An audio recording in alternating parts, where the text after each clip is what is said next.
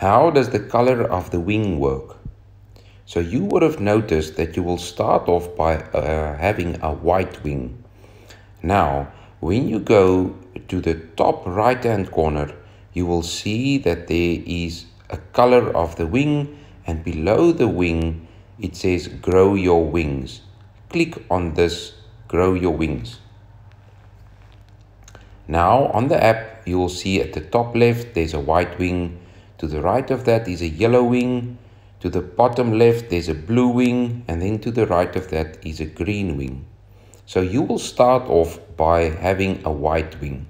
Then when you earn a certain amount of points, you will go over to a yellow wing, more points, a blue wing, and then at the end, you will earn your green wing status. So how do you get points? At the bottom, you will see the actions that you need to get more points.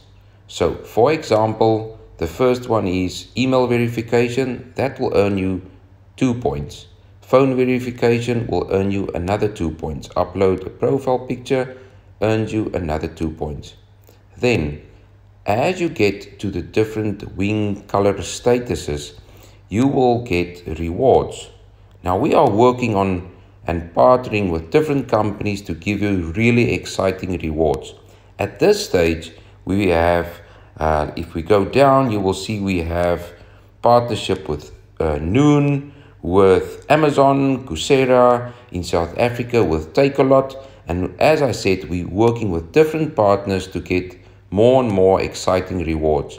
You will also notice when you go up a little bit to the top that we have uh, a leader, a leaderboard, and this is the people who has uh, at this stage the highest points.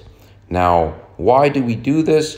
We do this to encourage you to build your profile because we want you to have a really well populated profile so you can have different opportunities and so that we can link you up with different jobs.